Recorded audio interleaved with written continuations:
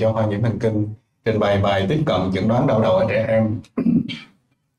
Um, nội dung của bài thì gồm có 4 phần giới thiệu, thứ hai phân loại đau đầu, thứ ba tiếp cận đau đầu ở trẻ em, thứ tư kết luận. À, phần thứ nhất là phần giới thiệu. Thì thực ra đau đầu là một cái um, bệnh mà một cái một cái triệu chứng mà cũng hay gặp ở phòng khám thần kinh.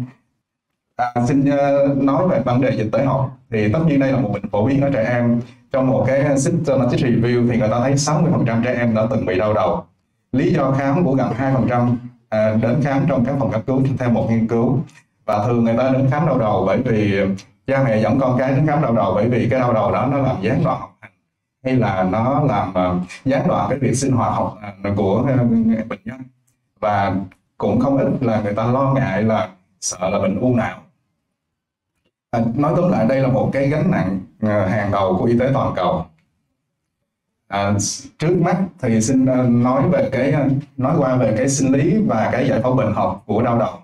Đau đầu là do sự co kéo đẩy lệch viêm co thắt hay là sự căng của những cái cấu trúc nhạy đau ở trong đầu. Cấu trúc này gồm có trong sọ và ngoài sọ. Ở trong sọ thì không phải cái gì nó cũng gây đau đầu. Đặc biệt là cái nhu mô não gần như không gây đau đầu những cái gì đụng chạm đến nhu mô não có thể nói là không gây đau đầu. Như vậy cái gì ở trong cái não mình nó gây đau đầu? Thì thứ nhất là những cái xoang tĩnh mạch cái thứ hai nữa là cái động mạch màng não động mạch cảnh nhưng mà cái vùng gần tam giác ờ, nguyên à, màng mềm màng nhện có đau đầu hay không?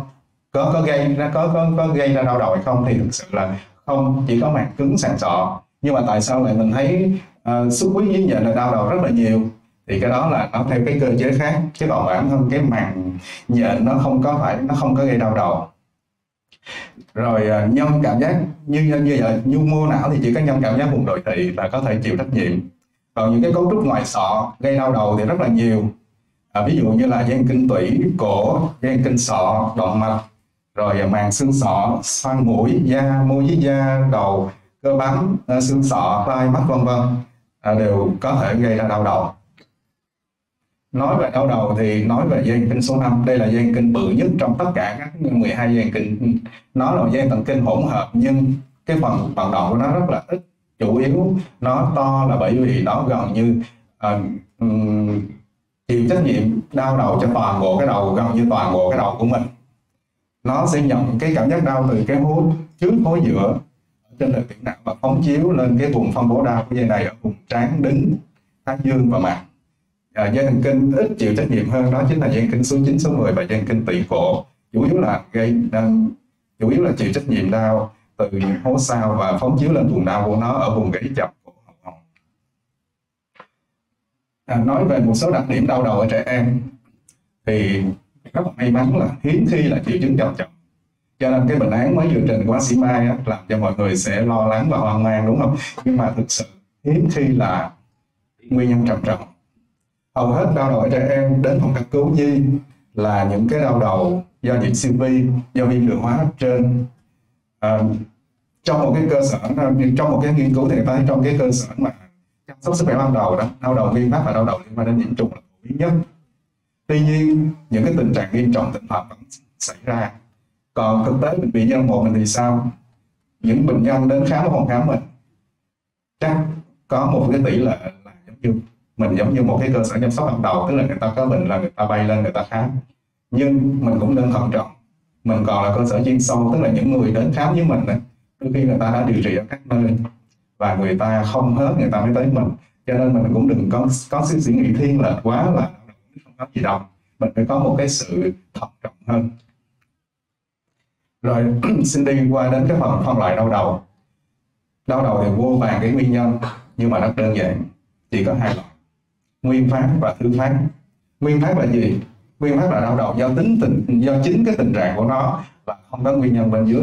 Như vậy thì tại sao lại đau đầu? Không có nguyên nhân tại sao đau đầu? Thì cái điều này lát nữa mình sẽ nói thêm. Còn đau đầu thứ phát rất đơn giản. Nó là một triệu chứng của một cái bệnh gì đó. Một cái tình trạng ở bên dưới. Nói chung nó là một cái triệu chứng của một cái bệnh thì gọi là đau đầu thứ phát và cũng nên nhớ là một bệnh nhân, người ta có thể vừa có đau đầu thứ phát, vừa có đau đầu nguyên phát. Mình cũng đừng có nghĩ là đau đầu thứ phát là thứ phát, nguyên phát là nguyên phát. Một con người nó có thể chồng chéo lên nhau nhiều cái vấn đề. Và cái phân loại đau đầu thì ở đây sẽ sử dụng cái hệ thống phân loại đau đầu của hiệp hội đau đầu thế giới. ISADEMA và bây giờ nói về cái đau đầu nguyên phát. Trước đây là cho là vô căn như hiện nay người ta thấy rằng Ừ, tại vì chụp chiếu lên tất cả đều bình thường hết. Nhưng mà thực tế thì đối với trẻ em người ta thấy rằng những cái vấn đề đau đầu nguyên phát này nó có liên quan đến những thay đổi trong cái quá trình trưởng thành của cái não ví dụ như là quá trình linh hóa, quá trình hình thành synapse hay là sự tái tổ chức, vân vân. Còn đau đầu nguyên phát nói đến đầu nguyên phát ở trẻ em thì cũng giống như đau đầu nguyên phát người lớn, là gần như người ta chỉ chú vào hai bệnh thôi. Chú chú ý đến hai bệnh thôi. Thứ nhất đó là migraine và thứ hai nữa là đau đầu xin viết tắt là TTH ngoài ra thì đau đầu cụm cũng được nói tới nhưng mà nó hiếm gặp trẻ em dưới 10 tuổi ngày nay mình bỏ qua. À, bây giờ nhâm mình cái ờ, nói về đau đầu may ra nó thì à, xin nói về cái tiêu chuẩn chẩn đoán luôn. Mặc dù à, có thể nó hơi chuyên sâu chút xíu nhưng mà các anh chị cũng rất là dễ nhớ chứ không có khó. À, theo ICD-3 có những tiêu chuẩn sau đây. Thứ nhất a phải có 5 cơn trở lên ở hoạn tiêu chuẩn B đến D. B cơn kéo dài từ 4 đến 72 giờ nếu không điều trị. C có hai trong bốn đặc điểm sau đây trở lên. Thứ nhất một bên. Thứ hai kiểu độc. Thứ ba là cường độ trung bình nặng. Thứ tư là tăng lên khi hoạt động thể lực. À, khi hoạt động hàng ngày. Và đôi khi người đứa bé nó có biểu hiện là tránh. Khi mà nó đau đầu nó tránh làm tránh đi tránh này kia. Nó muốn nằm một chỗ nó muốn ngồi nghỉ. Đó. Uhm, thì đó là có hai trong bốn đặc điểm này là coi như thỏa mãn tiêu chuẩn C. Thì một bên thì quá dễ. Bởi vì chữ migraine tức là à, uh, hemicranial nó xuất phát từ cái chữ hemicranial có nghĩa là một bên rồi cái chữ migraine thì có nghĩa là một bên rồi. Một bên sọ. Cái kiểu đau đầu migraine thì tất nhiên mọi người còn biết là người ta gọi là đau đầu mạch máu thì tức là nó phải đọt hết cái mặt. Đó. Tức là điển hình nó điển hình là nó như vậy.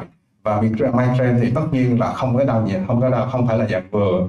Tức là nó phải là dạng đau nhiều đau từ trung bình trở lên.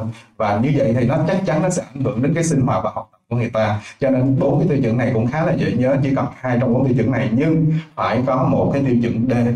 Tiêu chuẩn D là gì? Ói hay buồn ói là một. Còn không thì phải sợ ánh sáng và cả sợ tiếng động. Thì thực sự con nít đó mà nói để khanh nói nó có sợ tiếng ánh sáng và sợ tiếng động hay không đó, thì cũng khó. Cho nên cái ói và buồn ói nó trở nên rất là quan trọng. Để khi mình đặt bốn chuyện đó là việc migraine đó, cho nên là trong hai con nít thì mình, khi mà khai thác mà không có ói, không có buồn ói gì hết trơn á, thì cái chẩn đoán này nên để coi lại chút. Rồi tiêu chuẩn chẩn đoán migraine có tiền triệu ở trẻ em, thì nó chỉ cần hai cơn đau đầu trở lên. Thỏa mãn tiêu chuẩn BD B là gì? Là phải có ít nhất là một tiền triệu. Và tiền triệu này xin nhấn mạnh là phải phục hồi hoàn toàn. Thứ nhất là triệu chứng thị giác tiền triệu cảm giác tiền triệu ngôn ngữ tiền triệu vận động tiền triệu thân não và tiền triệu võng mạc thị giác là gì? Thường đó là người ta sẽ có cái thấy trên mắt mình những cái vật sáng tối sáng tối những cái đường dít dắt hoặc là những cái đường tạo thành hình hình hộp nhưng mà nó hay có cái màu sắc là trắng đen đó. Cái thứ hai nữa là cái cảm giác thì thường là cảm giác tê cảm giác chăm chích kiếm bò. Ở một cái bộ phận đó, đó trên con người mình. Còn ngôn ngữ là gì? Là người ta bị mất ngôn ngữ trong cơn người ta không nói được. Với người ta không hiểu mình đang nói gì luôn. Tức người nói chuyện với mình nói chuyện với bé thì bé nó cũng không hiểu cái cái cái cái ngôn ngữ nữa. Tức là mất ngôn ngữ có thể là vận ngôn hoặc là là, là giác ngôn. Về vận động có thể có trong cơn có thể người ta bị yếu liệt về thân não thì tất cả là những cái dây thần kinh nào ở thân não cũng có thể là là, là chịu trách nhiệm hết. Ví dụ như dây kinh số 6 người bệnh có thể bị lé bị um, song thị. À, dây kinh số 8 người bệnh có thể bị chóng mặt à, ói. À, 90 thì người ta có thể là người ta sẽ bị nói khó nói đớn nói ngọng đi. Chẳng hạn vậy tiểu não thì người ta có thể có những cái uh, rối loạn về uh, thăng bằng về võng mạc thì sao? Võng mạc với thị giác hơi giống giống nhau. Võng mạc tức là triệu chứng à, người bệnh sẽ có những cái ám điểm tức là thấy những cái điểm đen trước mắt mình hay là đôi khi cái điểm đen nó rất là nhiều cả choáng cả một phần luôn thì nó gọi là đôi khi là người ta bị tối thui luôn tức là người ta mù thoáng qua luôn. Và nhớ là những cái tiền liệu này phải phục hồi hoàn toàn. Còn nếu không phục hồi hoàn toàn thì coi chừng người ta bị tai biến hay gì rồi. Rồi à, C là phải có ba đặc điểm trong sáu đặc điểm. Trở lên cái này hơi khó thì cái này chắc lướt qua nhanh. Chỉ mấy người bác sĩ thần kinh thì quan tâm lớn hay bằng một tiền một tiền triệu lớn hơn 5 phút. À, lớn hay bằng hai tiền triệu xảy ra liên tiếp nhau. Ba, mỗi tiền triệu kéo dài từ 5 đến 60 phút. Quá 60 phút là chuyện khác. Và lớn hơn một tiền triệu một bên. Tiền triệu một bên là gì? Chắc cũng có lẽ mình sẽ trao đổi sau. Rồi ờ, số 5 là lớn hơn một tiền triệu là trực chứng dương tính và số 6 là tiền triệu đi kèm hoặc đi theo tiền triệu trong vòng 30 phút là triệu chứng đau đầu. Như vậy thì ờ, và cuối cùng là không được giải thích tốt hơn bằng một chẩn đoán khác à, về tiêu chuẩn chẩn đoán đau đầu căng thẳng tức là ừ, đau đầu căng thẳng theo ICHD3 đó thì phải có 10 cơn trở lên thỏa mãn từ B đến D. Cơn kéo dài từ 30 phút cho đến 7 ngày. C lớn hơn hai trong bốn đặc điểm nó hoàn toàn ngược lại với lại migraine nào các bạn. Tức là thứ nhất nó phải hai bên. Thứ hai kiểu ép hay là siết chặt. Không có nhịp không có không có thêm nhịp đập cũng ờ, cũng tim cường độ từ nhẹ đến trung bình thôi và nó không tăng lên với hoạt động hàng ngày cho nên người ta bệnh người ta đau đầu nhưng người ta vẫn sinh hoạt được vẫn đi học được. Và D là phải có cả hai. Thứ nhất là không được buồn nôn và nôn hoặc nôn hoặc nôn.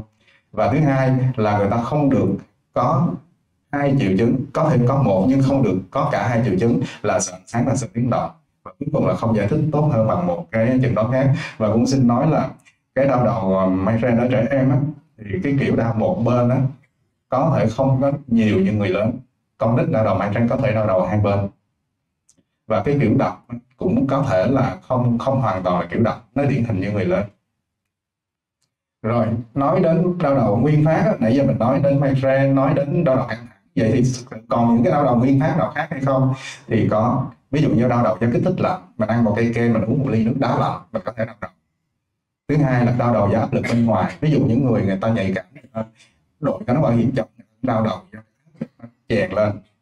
Đau đầu do do đâm nguyên phát, đau đầu kiểu đồng tiền, đau đầu khi ngủ, đau đầu gì nói cho biết là những cái này cũng rất là ừ, hiếm gặp.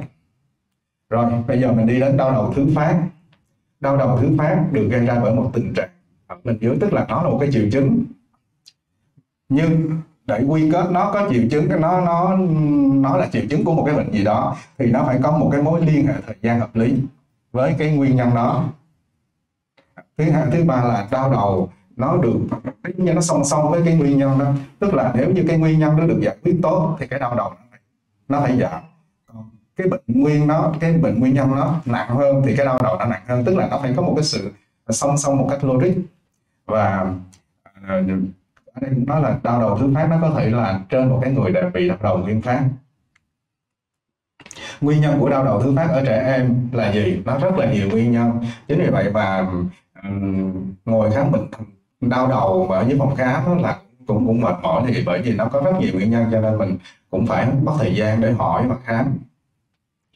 Nhưng mà may mắn thì đa số đau đầu thứ phát ở trẻ em đó là những cái bệnh nhiễm phổ biến nhất là ờ, ở đau đầu trẻ em trong một cái nghiên cứu người ta đó chính là những bệnh nhiễm có thể gây số hay không số ví dụ nhiễm siêu vi, nhiễm ký sinh trùng, nhiễm vi trùng của cái trung ương, ví dụ viêm não màng não của một cái bệnh hệ thống thôi, không có đụng chạm gì đến cái màng não viêm não màng não. Người ta cũng có thể bị đau đầu. Và đây là một cái một cái cái cái cái nguyên nhân gặp nhiều nhất. Rồi, những cái viêm nhiễm, những vùng kế cận của cái đầu, ví dụ như mắt, tai xoang mũi, răng miệng cũng có thể gây đau đầu tuy nhiên trong một nghiên cứu này thấy rằng viêm mũi xoang tái phát là một trong những chẩn đoán sai phổ biến nhất của đau đầu phần lớn thực sự là đau đầu nguyên phát và thường là đau đầu migraine như vậy thì viêm xoang có phải là cái nguyên nhân của đau đầu hay không? Thì thực sự là trong cái ờ, ờ, à, ICHD ờ, HD3 đó thì nó có cái tiêu chuẩn chẩn đoán của viêm xoang tiêu chuẩn chẩn đoán của đau đầu do viêm xoang thì thứ nhất nó bắt buộc là phải có lâm sàng và cái thứ hai nữa là phải có cận lâm sàng một trong hai cận lâm sàng.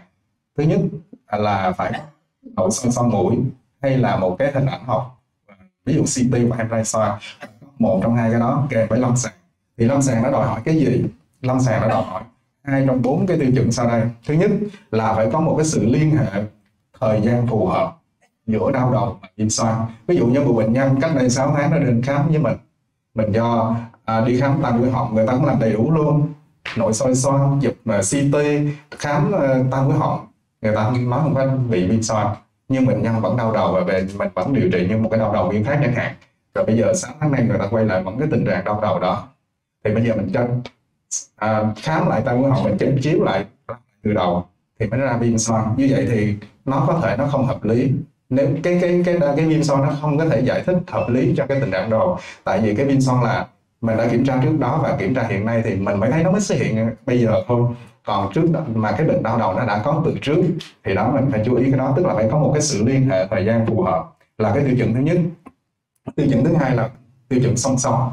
Tức là cái đau đầu đó nó phải nặng hơn. Nếu như anh ta mới họng khám thấy đau đầu ở thấy viêm son nặng hơn anh ta mới họng khám viêm son đã thấy giảm mà mình lại thấy là bệnh nhân khai mình là đau đầu nặng hơn. Tức là nó không có sự song song là không được và cái số 3 là đau đầu tăng lên khi mình gây những cái áp lực lên trên xoang ví dụ như mình ấn những điểm xoang hay là khi người ta hắt xì hay là người, người ta hắt hơi hoặc ta xì mũi thì nó động lên và nó đau.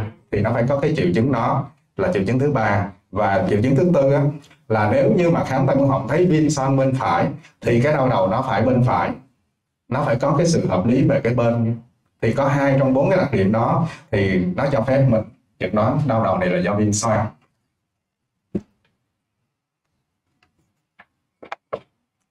à, nguyên nhân thứ hai trong đau đầu nguyên phát cũng rất là cũng thường gặp. Đó chính là chấn thương đầu cổ.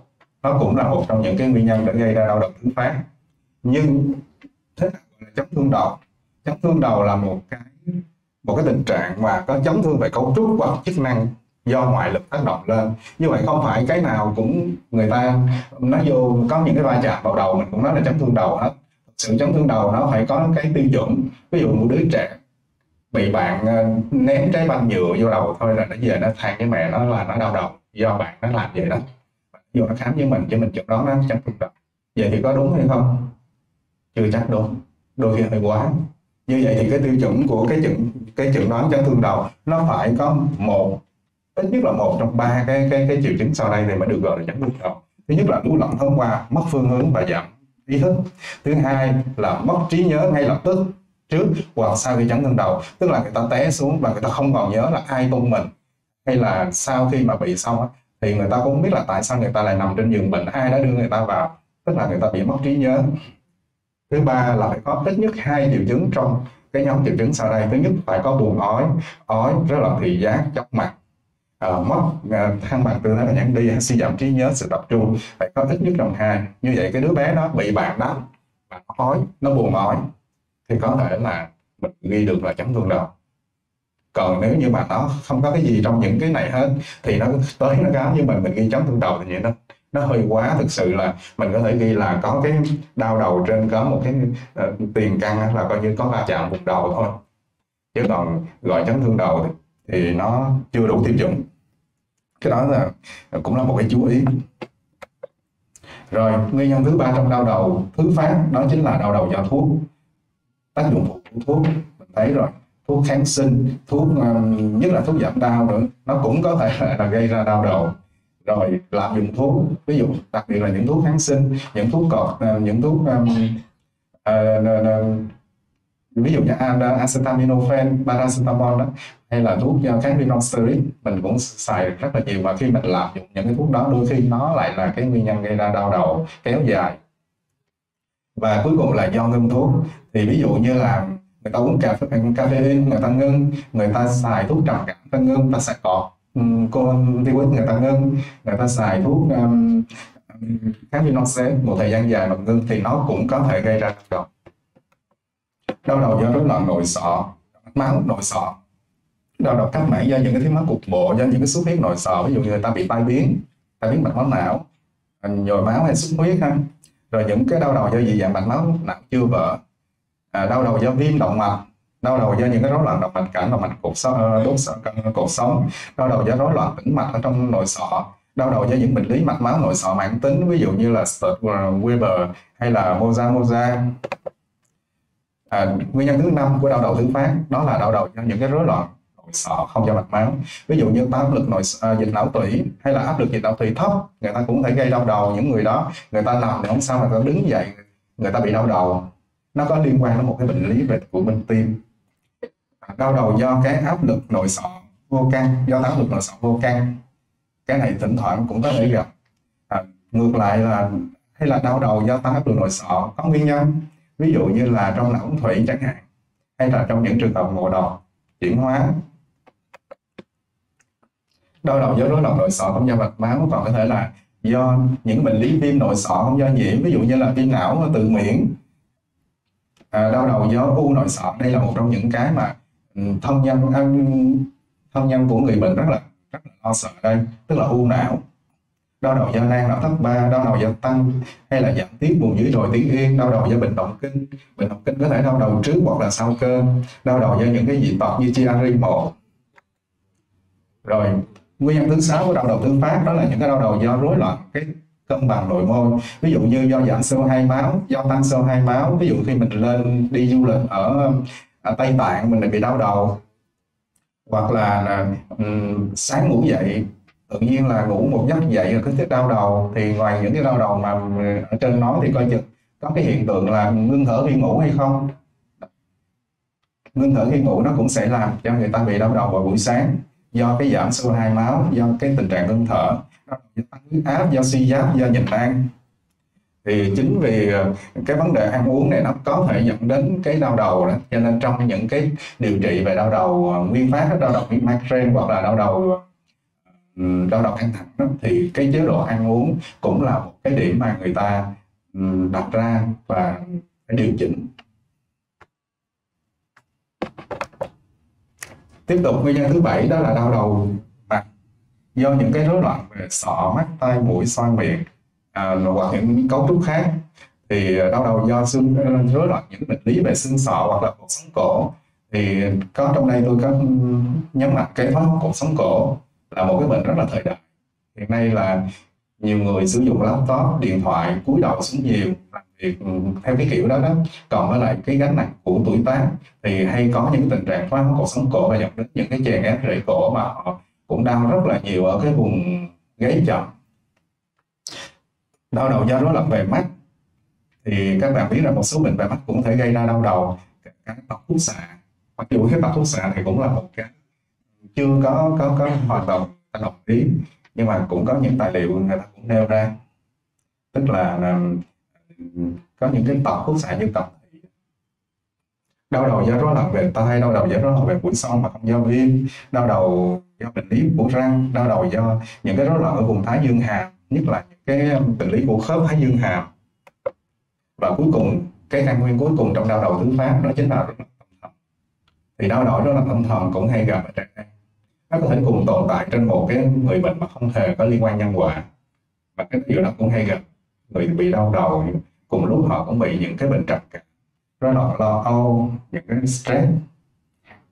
Nhưng đôi khi đau đầu nó là cái cái cái triệu chứng của bệnh rối loạn tâm thần.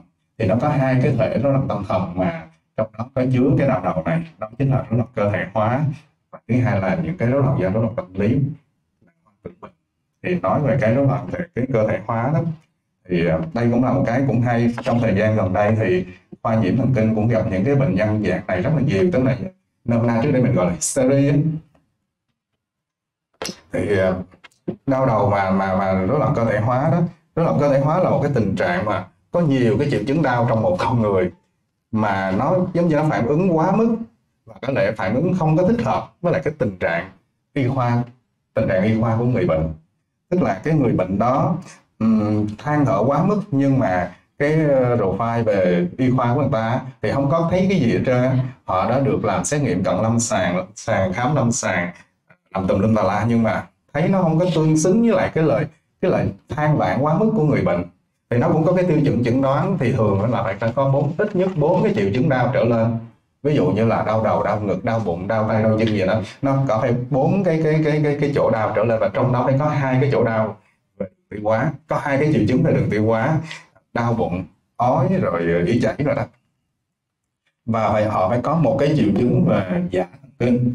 Giả thần kinh thì thường là trong khoa nhiễm, thần kinh thì thấy là giả co giật, giả yếu liệt, giả hôn mê, đó họ phải có những cái triệu chứng đó. Và cái triệu chứng đau đầu này nó phải song song với lại những cái triệu chứng khác của cái rối loạn cơ thể hóa. Tức là rối loạn cơ thể hóa, những triệu chứng khác đã hết trơn mà cái đau đầu hoài thì coi chừng đau đầu này nó không hợp lý. Nếu mà mình quy cho nó là do rối loạn cơ thể hóa. Và cái đau đầu do tâm lý, do rối loạn tâm lý, đó chính là cái hoang tưởng bệnh. Cái này cũng có gặp không ít, đúng không? Có những người à, bị bạn đánh vô đầu. Cũng không phải gì là nặng nề, bạn tiểu học với nhau thôi nhưng mà về than đau đầu và cha mẹ dẫn tới thì cứ cứ cứ một hai mình giải thích nhưng mà người ta không thỏa đáng họ phải đi tái khám hoài với cái than bản hoài. Nhưng là họ cái là đánh vào cái chỗ đó bây giờ cái đau chỗ hoài. Đó họ họ bị hoang tưởng về cái cái nguyên nhân đó. Hay là một cái anh chị nào đó nghe một người thân người quen của mình bị um, ung thư não chẳng hạn rồi tự nhiên là lo ra rồi lại nói là bây giờ tận mình cũng cảm thấy đau đầu. Thì tất nhiên lo quá thì chụp em ra em cũng bình thường luôn. Chưa chịu. Họ nói lỡ cái u nó còn nhỏ quá thì sao? Đó chẳng hạn vậy họ có bị ám ảnh những cái hoang tưởng bệnh như vậy.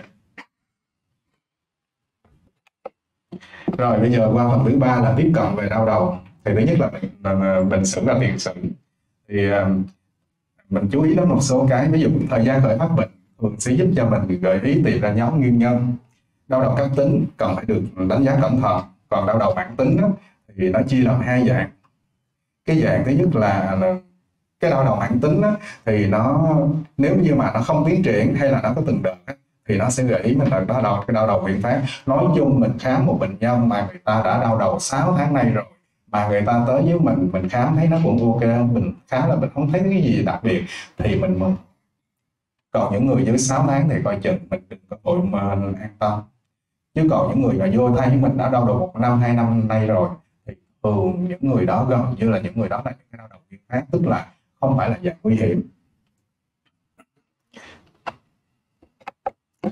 Đặc điểm của đau đầu mình còn khai thác à, đau đầu kiểu đập.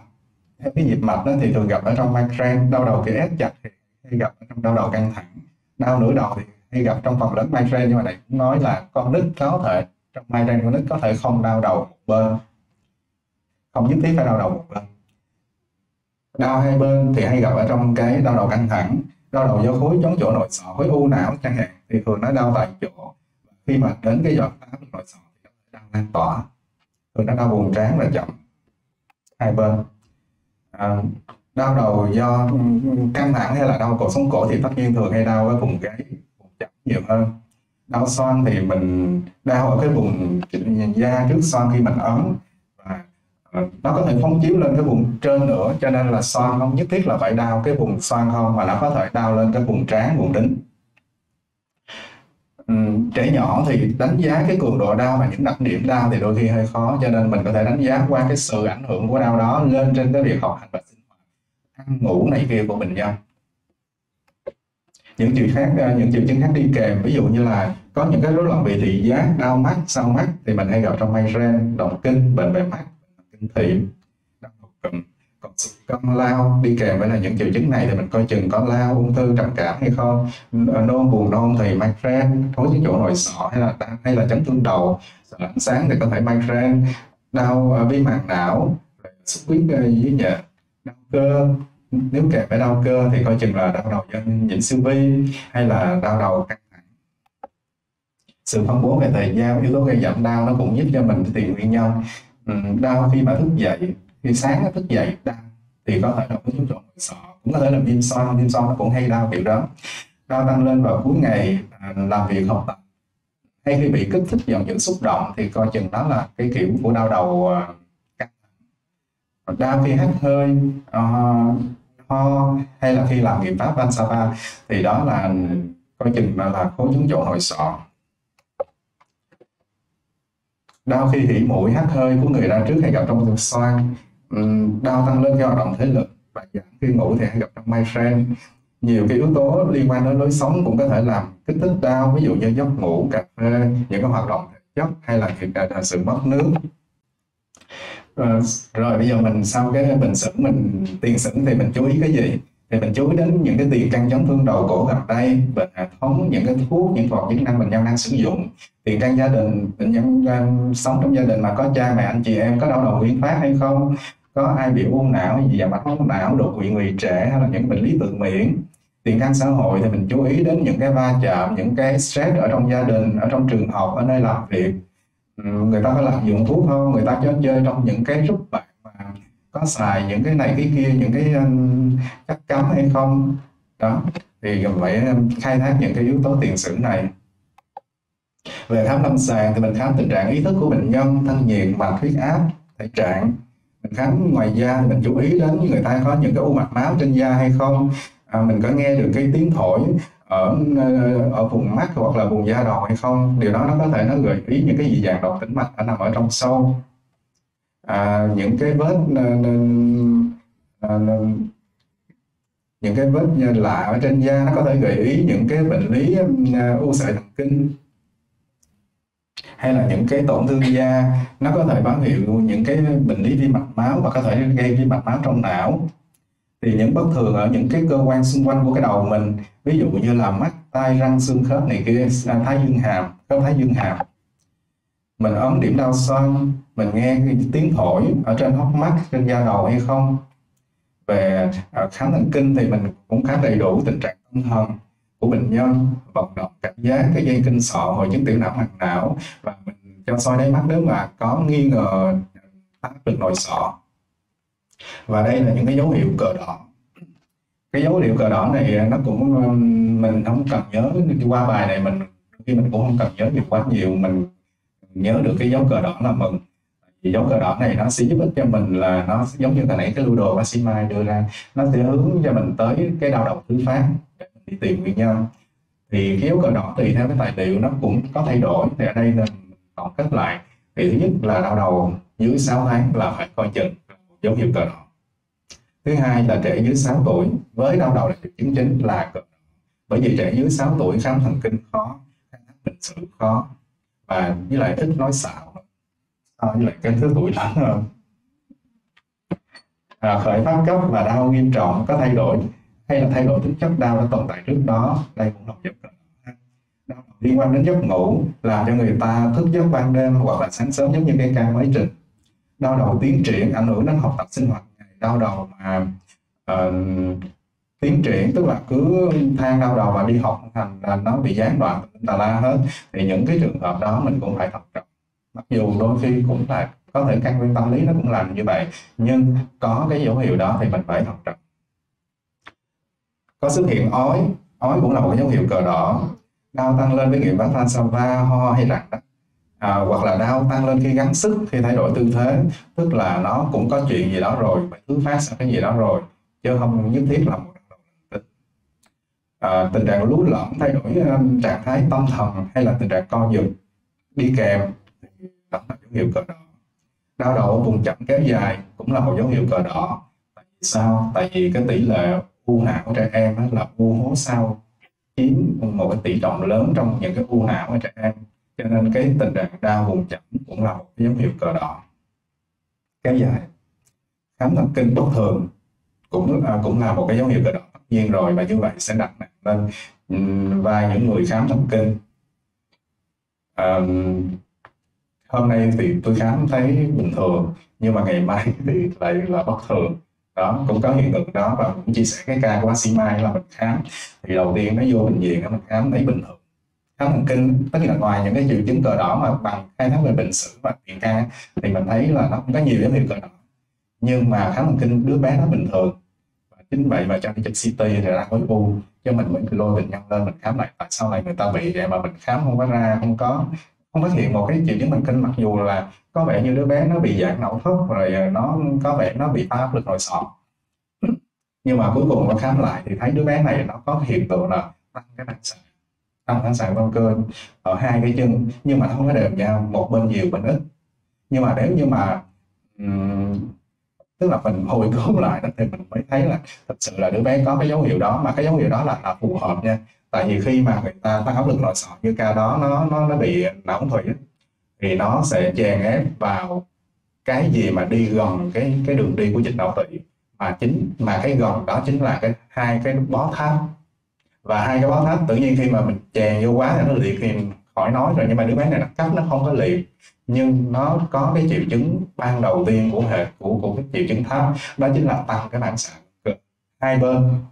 Đó thì thì ra đứa bé có dấu hiệu đó nhưng mà ban đầu tiên mình khám lần đầu tiên khi mà mình chưa có chụp CT mình khám. Thì mình có không có không có để ý cái đó. Có thể khám nhưng mà mình không có ấn tượng đó cho nên mình cho là bình thường. Rồi à, một cái trong những dấu hiệu cờ đỏ nữa đó đó là à, đau đầu mà đi kèm với lại những cái bệnh mà có thể có liên quan ví dụ như là tim bẩm sinh tiến cho bác sĩ hào, hay là BB Sun, đứa bé nó đang có BB Sun, hay là đứa bé là đang là bị ung thư, hay là một đứa trẻ bị suy giảm miễn dịch, hay là một đứa trẻ có rối loạn về tăng đông chẳng hạn không vâng thì trên, đau đầu trên những cái đối tượng đó, những đối tượng nguy cơ đó là cũng là một dấu hiệu cờ đỏ những dấu hiệu khác cũng được xem dấu hiệu cờ đỏ thì tùy theo cái tài liệu thì cũng nói ra luôn cho các bạn biết luôn. Tại có những tài liệu nó cũng nói những cái triệu chứng này là cờ đỏ. Không có tiền triệu thị giác hay là tiền triệu thị giác kéo dài trên một giờ. Ừ, hoặc là thiếu tiền căn gia đình mắc bệnh migraine cũng là một dấu hiệu cờ đỏ. Về cận lâm sàng thì uh, thứ nhất mọi người quan tâm nhất là có cần chụp hình hay không? Ở phòng khám vô đau đầu thì ờ, không biết là có cần chụp CT hay MRI vậy không? Thì ờ, hình ảnh thần kinh, nó có thể nó phát hiện ra nhiều những cái rõ rối loạn động đầu thứ phát nó giúp mình phát hiện ra những cái cái thứ phát tức là tìm ra cái nguyên nhân ấy. tuy nhiên, hầu hết trẻ em đến cơ sở ban đầu đều có dấu hiệu phù hợp với đau đầu nguyên phát và đau đầu đặc hiệu và nhiều, và có thể nói là không cần chụp đoán hình ảnh thần kinh trên một cái nghiên cứu người ta đưa ra kết luận như vậy. Nhưng mà cũng hồi nãy giống như Tuấn đã chia sẻ, tức là người ta tới bệnh viện do một ta khám không phải là cơ sở y tế ban đầu nhìn như như như như là trong nghiên cứu mà mình làm nửa là giống như ban đầu nửa là chuyên khoa. Đó bệnh nhân đến khám với mình là nhiều khi người ta cũng đi khám nhiều nơi rồi đó. Cho nên là mình cũng không có quá cực đoan trong cái cái vấn đề là không cần thiết chụp hình ảnh. Ừ.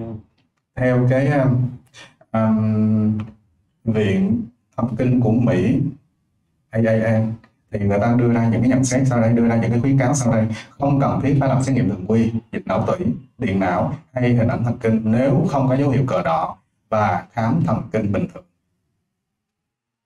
Và AAN khuyến cáo về thần kinh ở trẻ em với đau đầu tái phát như sau. Thứ nhất là đau đầu. Ở hình ảnh thần kinh không, nói chung là không có chỉ định ở trẻ em bị đau đầu trên 6 tháng và khám thần kinh bình thường. Thứ hai, hình ảnh thần kinh nên được thực hiện ở trẻ đau đầu, khám thần kinh thấy có bất thường hay là trẻ em nó đau đầu kèm co giật thì tất nhiên cái này là chụp sớm rồi chụp rồi. Cái thứ ba là hình ảnh thần kinh nên được thực hiện ở trẻ có bệnh sử đau trầm trọng phải khắc gần đây. Đau đầu mới khởi phát gần đây và đau trầm trọng. Nhất là những bệnh nhân có bệnh nền à, hay là có những cái thay đổi kiểu đau. À, hay là có dấu hiệu gợi ý đó là chức năng thần kinh. Tức là trước đây người ta đau bình bình tự nhiên bây giờ người ta đau quá trời quá đất nó thay đổi một cái kiểu đau như vậy thì nó cũng là một cái dấu hiệu nên chụp hình. À, vậy thì CT hay MRI thì MRI được ưu tiên đáng tin cậy hơn và không phải nhiều với lại TX nhưng không phải luôn sẵn sàng có trong cái tình trạng cấp. Cho nên đôi khi phải là CT thì CT có thể thực hiện được ngay lập tức. Và nó cũng có cái vai trò của nó rất là ok trong cái trường hợp mà những trường hợp mà mình nghi ngờ là xuất huyết nội sọ cấp tính à, mình cần phải chẩn đoán nhanh một cái tổn thương mà mình nghĩ là có, là táo đường nội sọ, một cái tình trạng táo đường nội sọ, đôi khi mình có thể mình không thể chờ đến hai hai ngày để mà, để chụp được cái MRI thì mình có thể đi trước bằng một cái CT tại những cái u não mà nó gây ra táo lực nội sọ thì chụp CT nó sẽ thấy ví dụ như cái ca này mặc dù là là là là chụp CT nhưng mà cũng cũng cũng ra được cái khối u.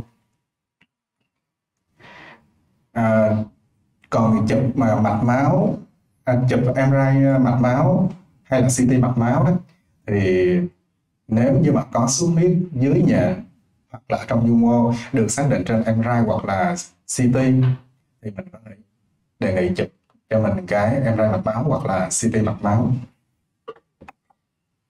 còn điện não đồ thì sao? Điện não đồ thì mình thấy là rất là nhiều cái bệnh viện khác đau đầu, người ta hay đo điện não lắm. Người ta hay chẩn đoán là động kinh. Thì thực sự đau đầu có cần làm em à, có cần đo điện não hay không thì không được khuyến cáo thường quy trong đau đầu tái phát. Và cũng không có ích gì trong việc xác định cái nguyên nhân đau đầu cũng như là phân biệt đau đầu migraine với lại những cái kiểu đau đầu khác. Như vậy mình bỏ qua cái điện não nha à, và cuối cùng là cái phần kết luận. Đau đầu thường gặp ở bệnh nhi nhưng hiếm khi là cái nguyên nhân nguy hiểm. Đây là một cái điểm mừng. Nó gây ra những cái sức vấn đề sức khỏe đáng kể cho em liên quan đến những cái sinh hoạt hàng ngày và học hành. Đánh giá đau đầu toàn diện bao gồm các tiền sử bệnh sử chi tiết khám lâm sàng cẩn thận để từ đó nhận biết ra những cái dấu hiệu cờ đỏ nếu có dấu hiệu cờ đỏ thì mình đi theo hướng là đau đầu thứ phát mình cần sàng. Và xác định đau đầu loại gì để mình có hướng điều trị thích hợp, chú ý phối hợp với những chuyên khoa khi cần.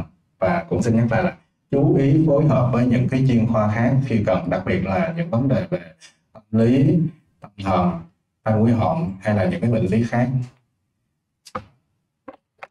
và và xin bài nói tới đây, kính chấm dứt xin cảm ơn sự chú ý của anh